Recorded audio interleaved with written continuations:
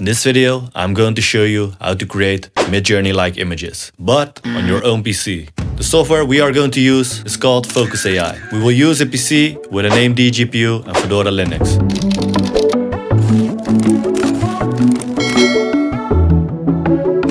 Now let's go to the Git repository Fooocus. The link will be in the description. If you scroll down, you can see what it looks like. It kind of has that Midjourney feel. As you can read in the Fooocus documentation, the use of Fooocus might be even easier than Midjourney.